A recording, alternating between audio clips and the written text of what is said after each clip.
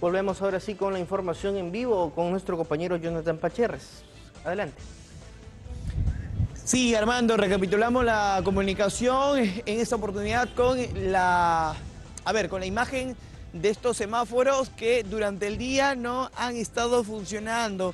Y bueno, genera preocupación en los peatones, transeúntes, conductores también, porque eh, es una intersección muy transitada, ¿no? Mira, ve, las imágenes hablan por sí solas.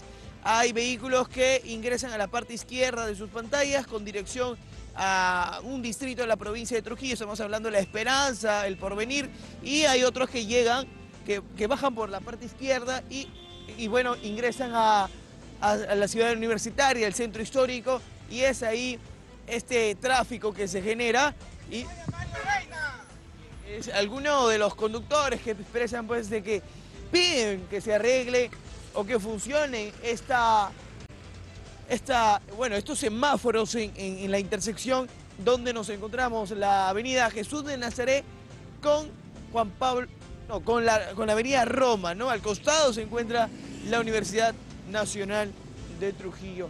Caballero, buenas tardes. Rapidísimo nada más, está antes de la mañana que no funciona. Bueno, no, no desea declarar, pero entendemos y tenemos información, Armando, que, esta, que este no funcionamiento se registra durante la mañana. Hay una ambulancia incluso que eh, se evidencia en esos momentos y bueno, no hay presencia tampoco de la Policía Nacional de la sección de tránsito.